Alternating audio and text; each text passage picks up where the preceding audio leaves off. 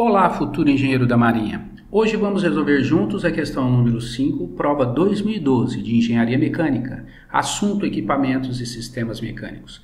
Não se esqueça de baixar o plano personalizado de estudos para o CP100.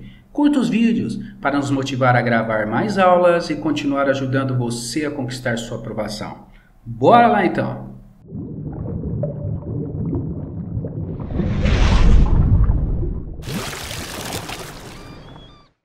Uma tubulação de vapor de baixa pressão conecta em linha reta dois equipamentos A e B, conforme a figura abaixo.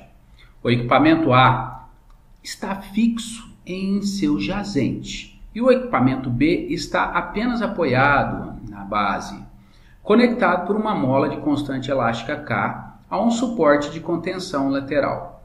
Calcule a tensão axial atuante na tubulação na situação de operação normal. Dados: temperatura ambiente, temperatura do vapor, diâmetro externo da tubulação, a espessura da tubulação, o comprimento da barra de A até B, 2 metros, a constante elástica da mola, o material que é feito a barra de aço, modelo de módulo de o módulo de elasticidade, coeficiente de Poisson e o alfa, que é coeficiente de dilatação linear do material que é feito a barra. Então, inicialmente, nós podemos observar que a deformação da mola mais a deformação devido à força compressiva é igual à deformação térmica. Para você enxergar isso, basta você imaginar assim, ó. imagina que só ocorre deformação térmica. Então, o B vem até aqui para a direita.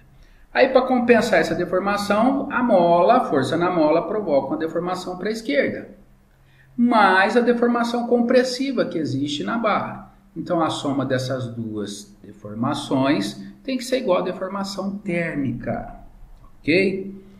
A deformação da mola é força sobre K, lembrando que força é igual a Kx, lei de Hooke. Então X, que é a deformação, é força sobre K.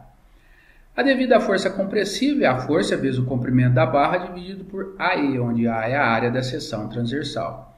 E a dilatação linear térmica é igual a L0 alfa delta teta. L0 o comprimento inicial da barra, que é igual a A, alfa coeficiente de dilatação linear e delta a variação de temperatura.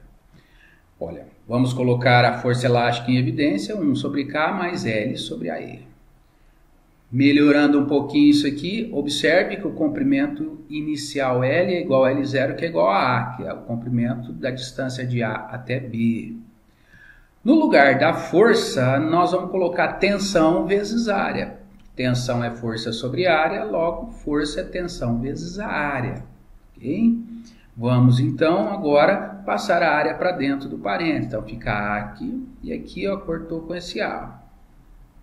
A área é a área da coroa circular, é π de diâmetro externo ao quadrado menos o diâmetro interno ao quadrado dividido por 4.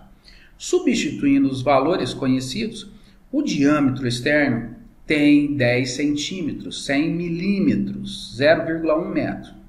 O diâmetro interno é o 100 milímetros menos duas vezes a espessura, que é 6, dá 94 milímetros, 0,94 metros. A constante elástica da mola, 9.500 vezes 10 a terceira newton por metro. O A, que é o comprimento da barra de A até B, é igual a 2 metros. Aqui é o módulo de elasticidade, é o módulo de Young, 2,06 vezes 10 a quinta vezes 10 a sexta, que é megapascal. O A vale 2, coeficiente de dilatação linear 1,17 vezes 10 a menos 5 e a variação de temperatura 100. Fazendo essas contas, nós acharemos a tensão normal atuante na barra, que vai ser aproximadamente 22 megapascal.